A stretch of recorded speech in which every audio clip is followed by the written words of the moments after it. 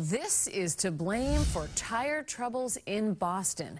A giant hole opened up in the Prudential Tunnel off-ramp this morning, leaving car after car with a flat.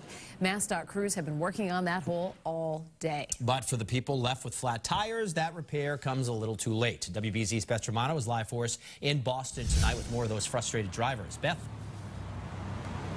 And several drivers say they didn't see it coming until it was too late. That big hole opened up just as cars come around the curve inside the Prue Tunnel behind me. Now, Mass DOT says that road gave way just from wear and tear. But for unlucky drivers, it created a big headache. Huge. I would say, what, three inches? Pedro Santos has had better days, looking at a sizable gash that's left his rear tire flat all caused by driving over this, a four-foot sinkhole at the Copley exit inside the Prue Tunnel. Bad enough that Mass DOT workers were measuring it, and he couldn't avoid it as he rounded the corner. It's huge and deep.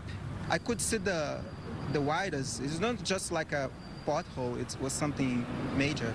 Add Sally Goldfarb to the list of affected drivers. Her tire also left with a huge gash. She couldn't get out of the way fast enough. There's no way you could have avoided it. Absolutely, positively, no way. I didn't see the hole, but I saw the car in front of me go into it, and I couldn't swerve to my left. It created gridlock for drivers inside the tunnel throughout the day, with only one lane open.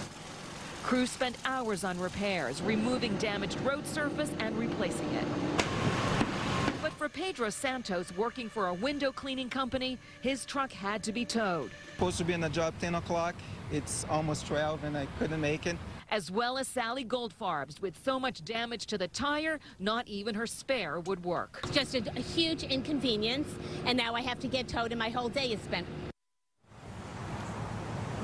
and the news for these drivers doesn't get much better. According to state law, they can only be compensated for property they cannot be compensated for property damage, only for physical injuries.